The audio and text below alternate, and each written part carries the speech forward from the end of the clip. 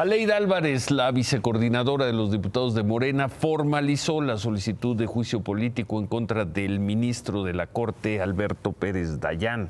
Morena acusa al ministro Pérez Dayán de supuestamente haber votado un proceso irregular, recordarán, a finales de enero, cuando la segunda sala de la Corte otorgó un amparo que en los hechos puso fin a la ley de industria eléctrica que había aprobado la mayoría morenista. Había un empate, el proyecto se aprobó con el voto, pero con el voto de calidad del ministro Pérez Dayán, presidente de esa sala, pues se echó abajo la ley. La diputada de Morena justificó la solicitud de juicio político contra el ministro con el argumento de una defensa de la soberanía energética.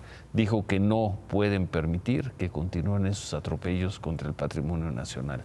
¿Caminará esta propuesta, esta búsqueda, esta iniciativa de juicio político contra un ministro de la Suprema Corte de Justicia.